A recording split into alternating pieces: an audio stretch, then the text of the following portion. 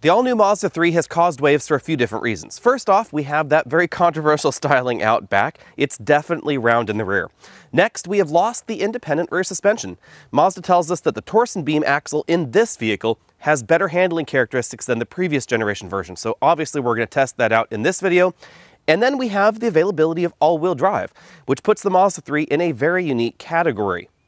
Up until now, if you wanted a mainstream compact sedan or compact hatchback with all-wheel drive, you had very few options, most of them with the Subaru logo on them, but now we have a Mazda for that. And that puts the Mazda 3, especially in this hatchback form, in kind of an interesting category. You might want to be comparing this to something like a subcompact crossover in America, and that's exactly what we'll be doing in this video. Up front, we have a look that is definitely reminiscent of the rest of the Mazda lineup, but they tell us that this is the latest incarnation of their Kodo design language. That's what they're calling the overall theme that we see on every modern Mazda in America. The model that we're driving has black trim around the grille rather than chrome like we find in some of the other Mazda 3s out there, and then we have full LED headlamps in all models. Behind that Mazda logo, we also find a radar adaptive cruise control sensor. A hallmark of modern Mazda design is this long hood proportion.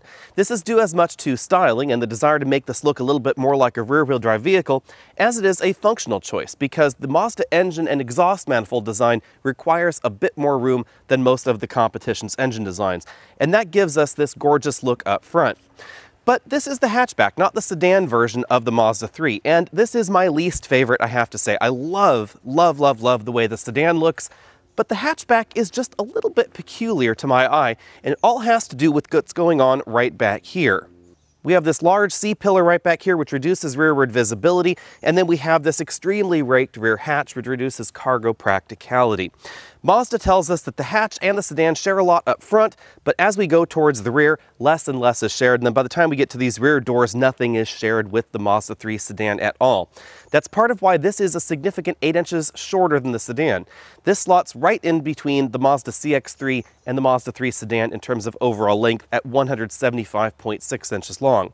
This is about 5 inches longer than a Honda HRV, but we get relatively similar interior room. Be sure and let me know what you think about the overall design of the Mazda 3 down there in the comment section below, especially if you really like the hatchback or if you really like the sedan more than the other. Out back, we have full LED tail taillamp modules, which is a nice premium touch that we don't find in most entries in this segment. Most of the competition use combination lamps where one of these modules or more would be an incandescent bulb. We have a subtle all-wheel drive badge right there and then dual exhaust tips at the bottom of the bumper. From this angle, you can really see that not only is the Mazda 3 rounded in side profile, it's also rounded from this direction as well. We have that really strong hip look right there, and then it tapers in quite a bit towards the roofline. Even though the Mazda 3 hatch now offers all-wheel drive, they're not positioning this as an off-road hatch. If you want the off-road Mazda, that's theoretically the CX-3 or the CX-5. But we don't really find that much less ground clearance in the Mazda 3 hatch versus the CX-3, only about 7 tenths of an inch difference. That puts this right in line with the CX-3 and the Niro and only 1 inch below the Hyundai Kona. Five and a half inches of ground clearance is a little bit above the average compact hatchback or compact sedan, but definitely below the average compact crossover. Winter traction is the big reason that we find all-wheel drive on this hatchback. And even with five and a half inches of ground clearance, you'll be just fine in most urban and suburban areas. As you'd expect out of a new car design, we get all of Mazda's latest active safety technologies on the Mazda 3. And all of them are standard on the hatchback. That's a little bit different than the sedan. That's because the hatchback starts one trim level above the base version of the sedan in America. That gives us adaptive cruise control with pedestrian detection, autonomous braking, and blind spot monitoring. That puts this on relatively equal footing with the Corolla hatchback, the Civic hatchback, and a little bit ahead of the average subcompact crossover in America that you might want to be cross-shopping this with. For 2019, there is just one engine available in America. It's a 2.5 liter four-cylinder direct injection engine. It produces 186 horsepower and 186 pound-feet of torque. It sends power to the ground via your choice of a six-speed automatic or a six-speed manual transmission and available all-wheel drive. Unfortunately for manual transmission lovers, all-wheel drive and the manual transmission are not available together, and the manual transmission is not available in the lower end trims of the hatch. Mazda is considering that a more premium option. According to Mazda, the combined fuel economy estimate for the Mazda 3 all-wheel drive hatch is 27 miles per gallon. That's pretty in line with some of the subcompact all-wheel drive crossovers out there, but definitely below some of the high-efficiency compact stands that you might want to compare this to, like the Jetta or the Civic with the 1.5-liter turbo. If you want better fuel economy in your Mazda, hope is likely on the horizon because Mazda has indicated that their new Skyactiv X engine will find its way into the Mazda 3 at some point soon. We just don't know whether that's going to happen for 2020 or not. Skyactiv X is Mazda's direct injection compression ignition gasoline engine. If you want to know more about that, we have a complete video on our channel. There'll be a link right up there at the top of the screen to take you on over to that one. In a nutshell, that engine operates on what could be considered a diesel cycle for ignition. It promises diesel-like fuel efficiency on regular unleaded gasoline. Power figures are likely going to come in right around the same as this 2.5 liter four-cylinder engine here. At this point in time, we don't know what models or trims that engine will be available in, but it is going to be shipping in Europe very soon in the new Mazda CX-30. I'm going to give the front seats 9 out of 10 points overall. We have a power driver seat with a two-way adjustable lumbar support and a manual tilt telescopic steering column with a pretty decent range of motion. It's worth noting that the passenger seat does not have the same range of motion as the driver's seat, and that's part of why I'm going to cut one point out of the score. The rest of the interior in the Mazda 3 definitely punches above its weight in terms of overall luxury feel and fit and finish quality, so I do wish we had the option of things like a four-way adjustable lumbar support for the driver and an adjustable lumbar support for the passenger as well. Hopping into the back seat, we find that things are a little bit tight in the Mazda 3. We get a little bit less combined legroom in here than we do in some of the larger compact sedans and compact hatchbacks. This is very similar to the Elantra and about 5 inches more generous than what we see in the Toyota Corolla, but there are a number of compact sedans and compact hatches that will definitely give you more legroom than this. With the front seat adjusted for me at 6 feet tall, you can see that I have about half an inch of legroom left.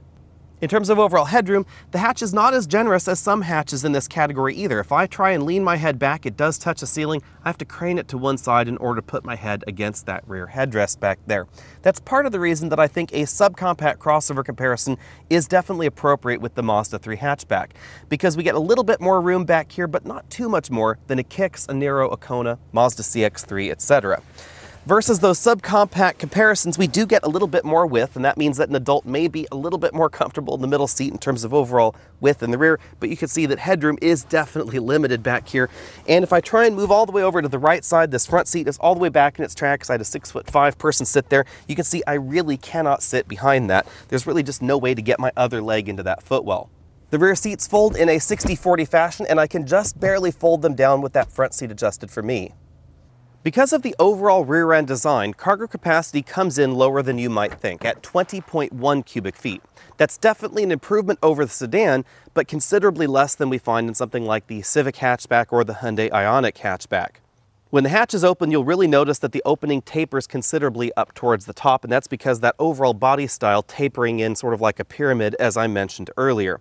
In terms of overall comparisons, this is very similar to some of the subcompact crossovers you might want to compare this with, and actually quite similar to the Subaru compact hatchback as well. But that said, you'll notice that there are some subcompact crossovers like a Honda HRV that definitely has a larger cargo area and a squarer and more practical cargo area as well. You can really see that drastic angle right back here for the hatch. Even though we have been driving the top end trim and keep that in mind as we're looking around, overall the Mazda 3 definitely feels more premium than its mainstream competition like the Civic or the Corolla. Overall parts quality and interior refinement is a little bit above something like an Acura ILX or a base model Buick, but not quite in the same category as the average German luxury car. We have two-way headrests up front, height adjustable shoulder belts, and our model has leather upholstery. The premium feel inside this cabin is really obvious when we take a look at the rear doors, for instance. Very unusually in the compact mainstream segment, we have materials in the back that match what we see up front. So we have all soft touch materials in the upper section of the doors, this stitched component right there in the middle, the chrome handle for the door release, and then soft touch plastics below. Definitely more premium materials than we find in the Corolla or in the Civic. Moving from the doors on over to the dashboard, that premium combination of materials continues. And then we have this strong two-tiered design theme, where we have the infotainment system up there at the top, and then the controls for the infotainment system below. As with the doors, we have a lot of premium materials going on. This red section is a stitched component. We then have a soft touch upper section of the dashboard, and then hard plastics below. On the passenger side, we have two air vents and then an air vent blank right in the middle to help tie the theme together. Below that, we have a slot-style glove compartment. I was barely able to fit a 10-inch iPad inside. Some of the smaller ones would definitely fit. In the center of the dashboard, we find Mazda's newest infotainment system. This has a unique screen and unique software compared with every other Mazda on sale right now. As you can see, the system offers smartphone integration, but very different than the previous generation of Mazda systems, this is no longer a touchscreen. It's also placed a little bit higher and a little bit further away from the driver. The software design is a little bit different as well, as you can see right here. It's definitely snappier than the previous generation. That was a common complaint with the Mazda infotainment software is that it was very slow. That's not what we see in this generation of the Mazda software, whether we're zooming in and out on the navigation system or whether we're interacting with the vehicle settings that are adjusted via this screen. This is definitely snappier than the last generation model. Below the infotainment screen, we find the controls for the two-zone automatic climate control system. This is also where we find the controls for the heated front seats and the engine start-stop button. Below the infotainment system, we have a single USB input, a storage area where you can keep your knickknacks or smartphones, and then we have two cup holders right there behind that door. The shifter is a pretty traditional console design. Drive is all the way back there. Manual mode is over to the left and we pull towards the driver for gear up. There's a toggle for the drive mode right here that enables and disables the sport mode. There's just that one drive mode. We have an electric parking brake and auto brake hold right there behind it. Then we find the controller for that infotainment system. Thematically, this controller is very similar to BMW's iDrive controller. We have a knob right there in the middle. It rotates around, toggles side to side, up, down, clicks down to enter. We then have some direct access buttons around it. This takes us to navigation, the media interface, the home button takes us to the Apple CarPlay interface or the Mazda interface if we press and hold it. Since I have an iPhone connected, we then have a back button right over there and a favorite button over to the right. We then have a power and volume knob over here that toggles side to side like Audi MMI to go track forward and backward. The center armrest is softly padded and it slides forward and backward and then opens right like that. In here we find a single USB input, a fairly shallow storage area. There's an SD card slot right there for the navigation database and a 12 volt power port. This instrument cluster is a partial LCD unit, similar but not identical to what we see in the Mazda 6.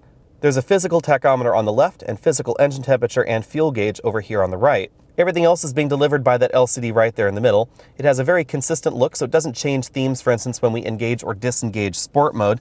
In addition to giving us trip computer information, we can also get active safety system information and a different look to the speedometer, or we can turn it off. That's really all the variation that we see in this display. In addition to that instrument cluster, we also have a heads-up display that is very similar to what we see in the CX-9. The steering wheel is a round design with three spokes. There's a little bit of a split to that bottom spoke. We have paddle shifters on the back that are a little bit difficult to see, but we have up on the right and then down over there on the left. On the right side of the steering wheel, we find the controls for the radar adaptive cruise control system. And on the left side of the steering wheel, we have the controls for the infotainment system, along with an info button that changes the display on that multifunction LCD cluster. Mazda's decision to make the 2.5 liter engine standard in the 3 for 2019 means that we get more standard power than most of the competition at 186 horsepower. But that doesn't necessarily translate into class leading acceleration.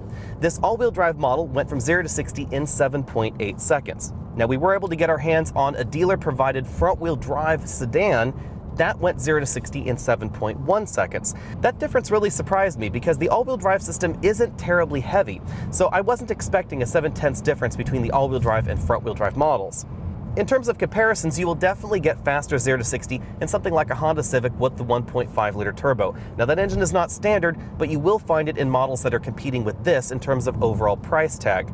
The two likely reasons that this is not as fast as the Civic are that this is not a turbocharged engine, so it doesn't have that aggressive low-end torque.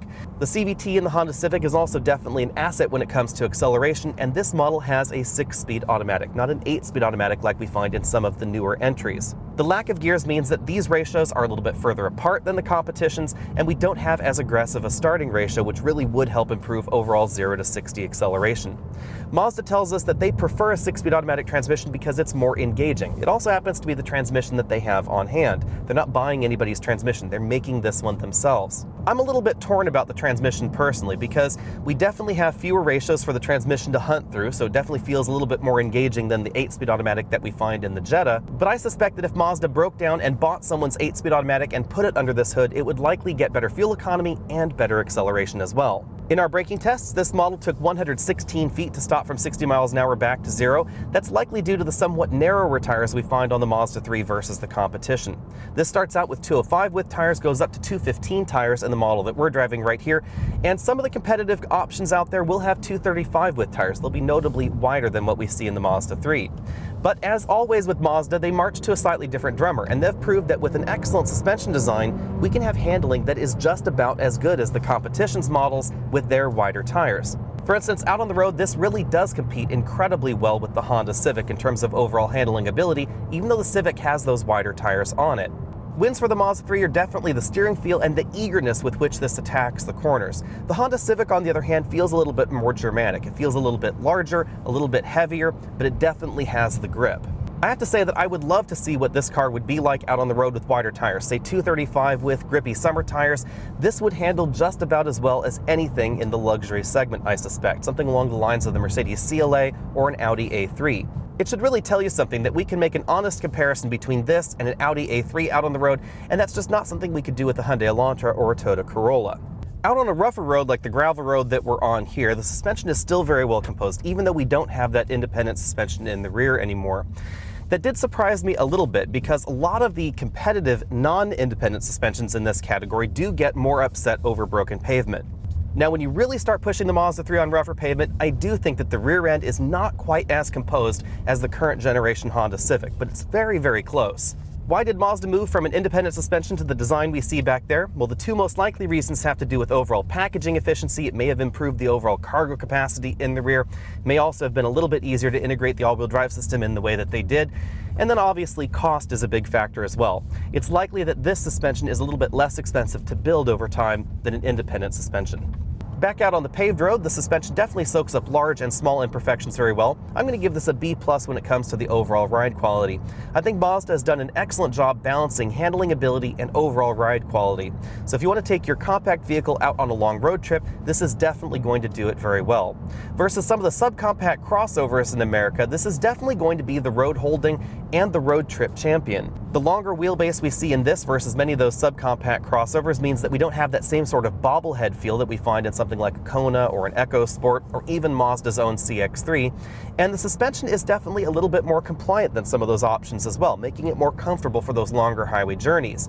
And yet we have much better handling than we find in the subcompact crossover category. The lower ground clearance, having everything closer to the ground, means that this definitely carves a corner much better than even the Mazda CX-3. In our cabin noise test at 50 miles an hour, we measured 70 and a half decibels, which is definitely quieter than the average for the compact category and significantly quieter than the average for the subcompact crossover category. Now, as we've seen in other Mazda models lately, we do get a bit more tire noise into the cabin. Remember that there are two components to cabin noise, wind noise and tire noise. Wind noise is well controlled, but we do get a little bit more tire noise in here. When it comes to fuel economy, I'm going to give this model an A. We've been averaging just over 27 miles per gallon over a week of mixed driving. Some people may question that particular score because you will get about 10 miles per gallon better in a Jetta or a Honda Civic with their turbocharged engines. But it's important to remember that neither the Jetta nor the Civic are all-wheel drive. So if you were to compare this to all-wheel drive options out there in the crossover segment, you're definitely going to be getting better fuel economy on average in this model. Also keep in mind, we've been driving this pretty aggressively over this week, so I suspect if you were driving it more gently, you'd likely be getting 28 or 29 miles per gallon. Mazda tells us that this all-wheel drive system is designed a little bit differently than the one in the Mazda CX-5. It's designed to disconnect the rear axle at highway speeds to help improve overall fuel economy, and this operates as more of a reactive all-wheel drive system than a predictive all-wheel drive system, again, in order to help improve overall efficiency. Now, in terms of all-wheel drive performance, you will notice the difference between this and the CX-5, because if the going gets slippery, you'll notice that the front wheels will slip a little bit and then the rear wheels will engage. But it doesn't cause a functional problem with this all-wheel drive system. It is still very, very sure-footed in slippery conditions. And if you want to drive your Mazda 3 out on the road, there is definitely a little bit of a difference between this and the front-wheel drive model in terms of overall grip. The all-wheel drive system definitely helps the driving dynamics, but not as much as you might think. We don't have access to a skid pad, but publications that do have indicated that the improvement over the front-wheel drive model is pretty minor, but it does improve the overall feel.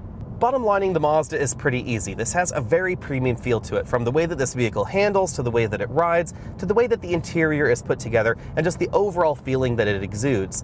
This is exactly the kind of vehicle that near luxury brands should be building, especially brands like Acura. In fact, I suspect that if you pulled this Mazda logo off the steering wheel, put an Acura logo on it, and you put the average Acura shopper in the car to drive it around, they would think that this is the next premium Acura. And I would argue that if you did that, you would end up with a more premium product than Acura currently has in this segment. This definitely has a more premium feel to it than the current generation Acura ILX. With a base price of $23,600, the hatchback is more expensive than the sedan. It starts $2,600 more than the base sedan and $1,000 more versus the comparably equipped sedan. The important thing to remember is that the hatch does not come in the same absolute base trim that we find the sedan in. We do have more features standard in the hatchback. If you want all-wheel drive on your Mazda 3, it is available on all trims of the hatchback, so you don't have to step up to the premium trims if you don't want to. Now, the model we were driving this week started at $28,900 because it was the top end trim. In terms of overall price tag, oddly enough, the Mazda 3 hatchback is not that far off of a compact crossover. For instance, a Mazda CX5 with all wheel drive is only about $750 more than the base all wheel drive Mazda 3 hatch but arguably the Mazda 3 is better equipped than that base CX-5. It's equipped more like the Touring all-wheel drive model, which has a base price of 28,015. So overall Mazda 3 hatchback value is pretty good. In fact, it's quite similar to the CX-3 Touring with all-wheel drive. That model with adaptive cruise control will be about $740 more expensive than the Mazda 3 hatch all-wheel drive. The main reason for that price difference is that crossovers are quite simply big business in America. They're very popular, so they tend to go at a premium versus sedans and traditional hatchbacks. That's also the reason that there's really no true competitor to the Mazda 3 hatch outside of Subaru. Our first competitor here is the 2019 Subaru Impreza. It is the only compact sedan and compact hatchback in America outside the luxury segment that has all-wheel drive. The five-door version of the Impreza will start significantly less expensive than the all-wheel drive Mazda 3, however, at $19,095. That's about a $6,000 delta. Admittedly, the Impreza has less standard equipment. It also doesn't have a standard automatic transmission, but if you want all-wheel drive and a stick, it's going to be the only option here. Adding the equipment to the Impreza that we find standard on the Mazda 3 hatch will get you up to about $23,490, still notably less expensive than the Mazda. But the interior doesn't feel quite as premium and it doesn't feel as fresh as the Mazda. Although depending on your particular sense of style, some might find the Impreza a little bit more attractive than the overall rear-end styling that we find in the Mazda 3. Oddly enough, the Mazda 3 and the Impreza hatchback are right about the same size, and they have very similar cargo room as well, but we do get a little bit more headroom in the Subaru. The Mazda has a little bit more ground clearance, which is a little bit surprising. For most folks out there, ground clearance is not going to be a big differentiator between the Subaru and the Mazda because we're talking about a very small difference. But if you really wanted the next level in ground clearance, then there is a Subaru for that. You could get the Subaru Crosstrek. It's an Impreza hatchback that's been additionally lifted up to about 8.7 inches. Adding all-wheel drive makes for strange bedfellows, so let's talk about the Subaru Forester now. It's a compact crossover, obviously not a compact hatchback, but it has a very similar base price for all-wheel drive, $24,295, making it a little bit less expensive than the Mazda 3 hatch. The main reason I'm including the Forester here is that versus the Impreza, the Forester has a more premium feeling interior and it has a little bit more standard feature content as well. So in some ways, it could be considered the better corollary to the Mazda 3. Big differences between the Forester and the Mazda 3 obviously are going to be that one is a hatchback, the other one is a crossover, so handling is going to be better in the Mazda 3. Overall road dynamics are going to be better, but we're going to get more ground clearance in the Forester.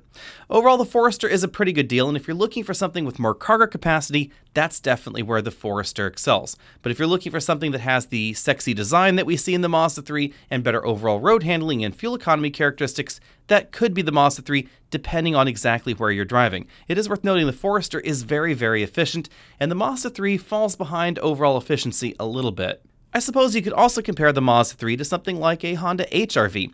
In EX trim with all-wheel drive, you're going to get a relatively similar feature set, and it's going to cost about the same about $25,200 for the Honda. The HRV has a pretty competitive interior for the subcompact category, but when compared against the Mazda 3 and the average compact sedan in America, it definitely feels a little bit less premium. The HRV is also going to be significantly slower, even though I wasn't too impressed with the overall acceleration figures in the Mazda 3 hatch, the Honda HRV has less power, it has a much smaller engine, the CVT doesn't necessarily help things out too much there, and overall acceleration times are definitely on the long side. In terms of overall practicality, the HRV fares very well. It has a very practical cargo area, and we have a great deal of interior legroom as well. But again, the interior doesn't feel quite as fresh, and overall performance feels a little bit more sluggish than in the Mazda 3 hatch, even though we weren't too impressed with the overall acceleration times in the Mazda. Other than these options, if you want something that feels about as premium as the interior in a Mazda, then you will have to step up to something like perhaps a Mini Clubman. Although still a subcompact vehicle, the Mini's kind of an interesting option here because it has an interior that I think feels just about as premium as the Mazda 3, although it is worth noting that in some areas I think the Mazda excels over the Mini. It also has the availability of all-wheel drive even with the less powerful engines in their lineup. Now, if you want more powerful engines, Mini will of course sell those to you, but they're going to get pretty expensive, and that really is the thing all the way around about the Mini brand. Even though we have a relatively low MSRP in the Clubman, it does get pretty expensive if you get carried away with options, and boy, are there a lot of options available on the Mini. And that's just factory options. If we talk about dealer options or dealer available accessories, there are tons and tons of ways that you can configure your Mini. And that really is a strong Mini selling point, the ability to customize your ride. Mini also likes to position themselves as a luxury car alternative, so the overall brand experience is definitely going to be a little bit more premium than what we see in the Mazda, but that doesn't necessarily mean that the car will feel overall more premium than the Mazda. If you're shopping for an all wheel drive vehicle and you don't live in a rural area where you really need to tackle deep snow drifts or uh, tougher off road situations, deep ruts, that sort of thing, the Mazda 3 hatch and the Mazda 3 sedan with all wheel drive are definitely going to give you more than enough traction and more than enough clearance for most situations. You'll find a more premium interior and improved driving dynamics versus anything in the compact crossover segment at a lower price, and again, a better interior and better handling dynamics at a similar price to the average subcompact crossover in America. So if you're looking to break out of the compact or subcompact crossover boxes, definitely put the Mazda 3 on your shopping list. But if you're me, take a look at the sedan rather than the hatchback. Let me know what you think about that down there in the comment section below, especially how do you feel about the hatchback styling in the Mazda 3? Would you get the hatchback or would you get the sedan? If you haven't already done so, find us over at facebook.com slash so you can see what we're driving this week, and I'll see you later.